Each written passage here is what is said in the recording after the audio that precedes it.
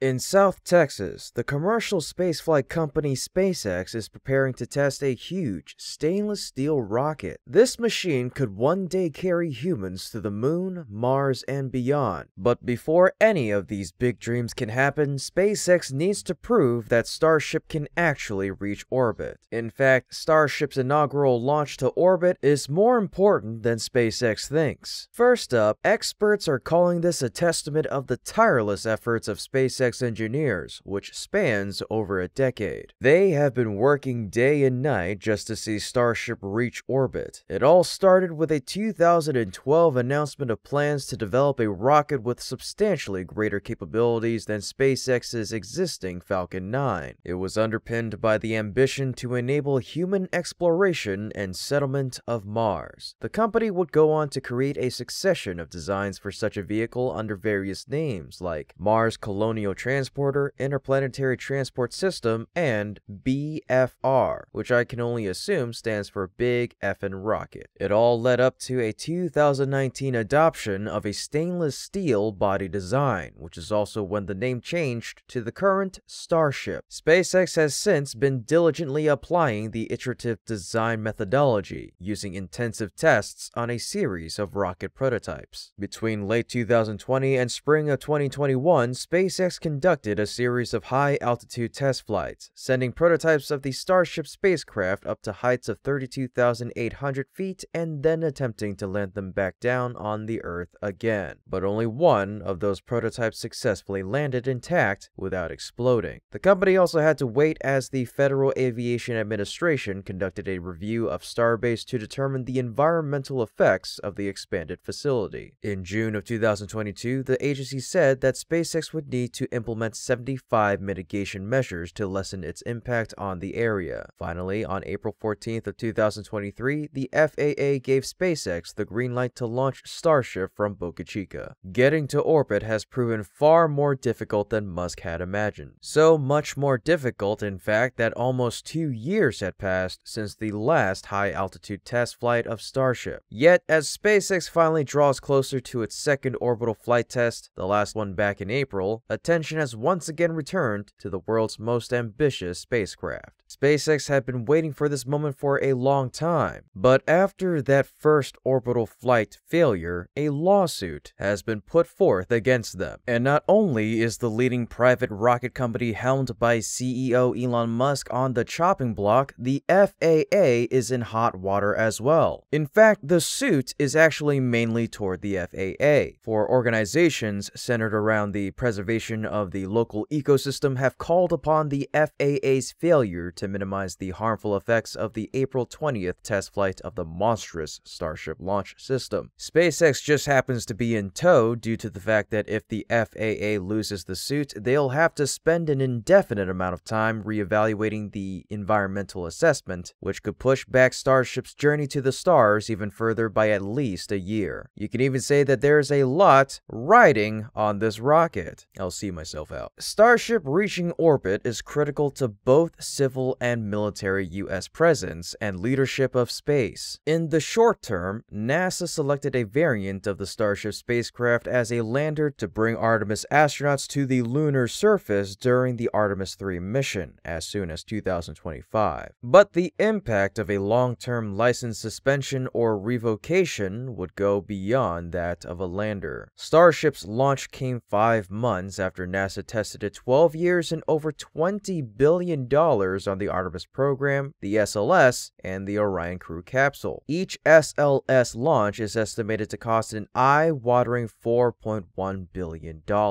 In contrast, SpaceX envisions each Starship launch costing under $10 million.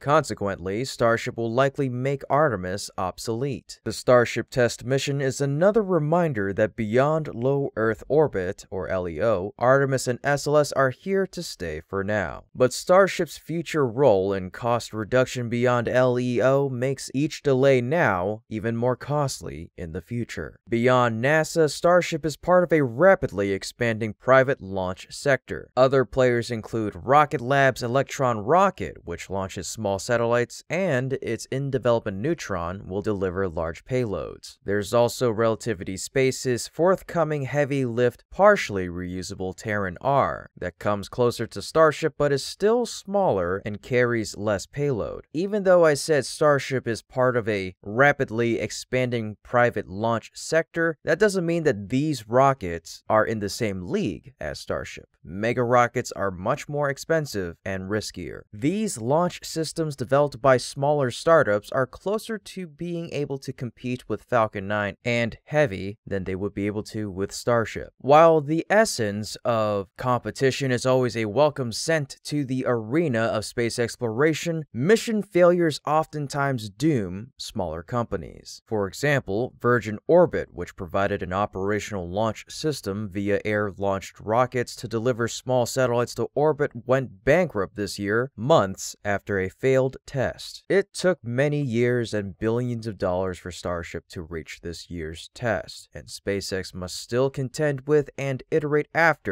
an explosion. Meanwhile, Blue Origin's forthcoming heavy lift New Glenn has already won government launch contracts and should be commercially successful, but it can only carry half of Starship's cargo tonnage to orbit. Currently, there is no private sector equivalent that could rapidly deploy a satellite mega deploy satellite mega constellations or deliver major logistical infrastructure to orbit like satellite and vehicle refueling stations, which could be critical as geopolitical tensions on Earth escalate and seep out into space. There may be a future peer commercial competitor to Starship, but taking a look at the current landscape and understanding how much time and money goes into building a rocket of any kind, that's unlikely anytime soon. The only competitor worthy of note is the Chinese space program, which has grown rapidly in recent decades. The People's Republic of China launched its first astronaut into space in 2003 and built a space station,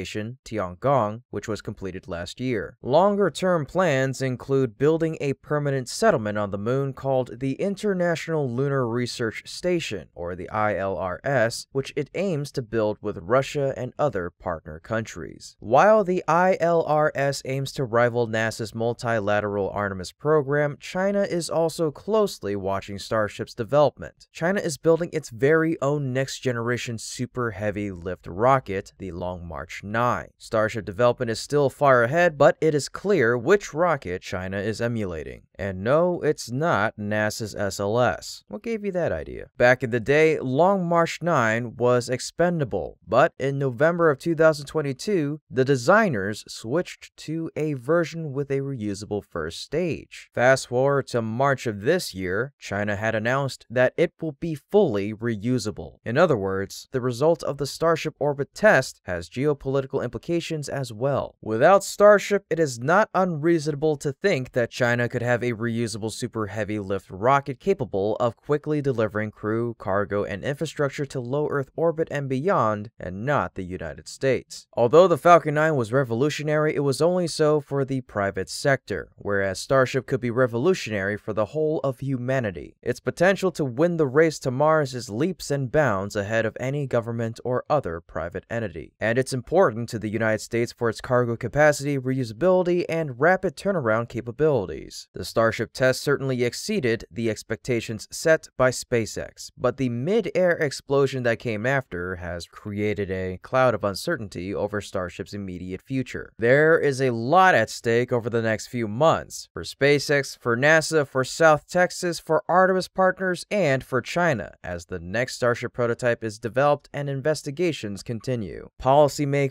should be closely watching the FAA investigation into the test mission and legal action against the agency. U.S. national security interests will be harmed by an investigation and litigation that stretch over many years. The FAA had already investigated and cleared Starship initially, and it's not in SpaceX's interest to have its launch complex cratered and incinerated with every test. It is critical that the sides are able to reach a resolution that addresses the environmental damage and remediation from the test, that engages the local community, and allows for a resumption of testing later this year. And to top it all off, as for commercial customers, two other billionaires are waiting for Starship to go to orbit alongside Musk himself. One is Jared Isaacman, who funded and flew on a SpaceX Crew Dragon mission called Inspiration 4 last September. He then started the Polaris program, a cadre of commercial astronauts astronauts and charity fundraisers who are expected to crew the first Starship flights with humans on board. As for lunar ambitions, Japanese entrepreneur Maezawa Yusaku and Dennis Tito, an American entrepreneur who self-funded a trip to the ISS on a Russian spacecraft in 2001, have both paid SpaceX unspecified amounts for around-the-moon trips. The rocket's most reliable customer, however, may be SpaceX itself. By using Starship's expansive cargo bay, the company says it could deliver 400 Starlink internet satellites per launch as opposed to the 60 that can be carried by a Falcon 9 rocket. Well, that just about wraps it up for today's episode. Thank you so much for watching, and please let me know your thoughts in the comment section down below. Remember, everyone's support motivates us to create more quality videos. And for that, we thank you so much, and we hope to see you again next time.